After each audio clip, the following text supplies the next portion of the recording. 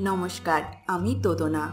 আপনাদের যখনই কিছু মন পছন্দ খাবার খেতে ইচ্ছা করবে, ইউটিউবে গিয়ে লিখুন বাঙালির রান্নাবান্না আর সাবস্ক্রাইব করুন আমার চ্যানেল এবং আমার সমস্ত রান্নার আপডেট সবার আগে পেতে বেল নোটিফিকেশানটা অবশ্যই অন করবেন। আজ আমি বানাবো নরম তুলতুলে বেবি নান। এটা আপনারা আপনাদের মনের মতো রেসিপি দিয়ে পরিবেশন করতে পারেন। এই বেবি নান সাধারণত ইস্ট দিয়ে বানানো হয়ে থাকে। কিন্তু আমি ঘরোয়া পদ্ধতিতে এটা বানিয়ে দেখাবো। যার স্বাদ হবে দোকানের মতোই সুস্বাদু। তাহলে দেখে নিন এই বেবি নান বানাতে কি কি লাগছে।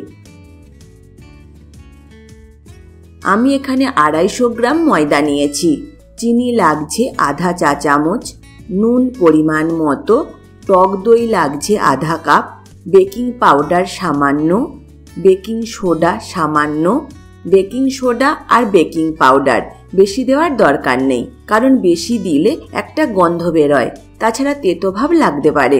দুটো মিলিয়ে আমি নিয়েছি আধা চামচের কম।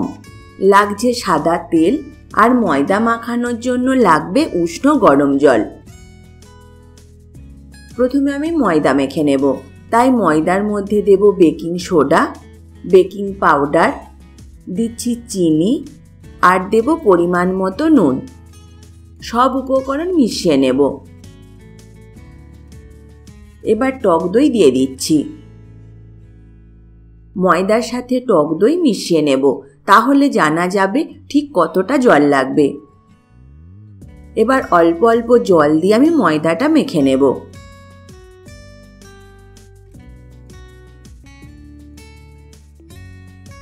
ময়দা আমি মেখে নিয়েছি। যত ভালোভাবে মাখবেন, ততই কিন্তু ভালো হবে বেবি নান। এর মধ্যে এক চামচ তেল দেব। আবার ময়দাটা মেখে নিচ্ছি। আমরা লুচি বানানোর জন্য যেমন ময়দা মাখি, তেমন মাখলেই হবে। এবার এটা ঢাকা দিয়ে রেখে দেব এক ঘণ্টার জন্য। তবে আপনাদের হাতে যদি সময় থাকে, তাহলে তিন থেকে চার ঘণ্টা রাখতে পারেন। তাতে নান আরও খেতে ভালো হয়। এক ঘণ্টা পর ফিরে আসলাম। ঢাকা দেওয়ার ফলে ময়দাটা খুবই নরম হয়ে যায়। আর দই দেওয়ার কারণে ময়দাটা অনেকটাই ফুলে ওঠে। আবার ময়দাটা মেখে নেব। এবার এখান থেকে লেচি কেটে নিচ্ছি। লুচি বানানোর জন্য যে লেচি কাটা হয়, তার থেকে একটু বড় কাটবো। কারণ বেলবার সময় লুচির মতো পাতলা না বেলে একটু মোটা করে আমি বেলবো।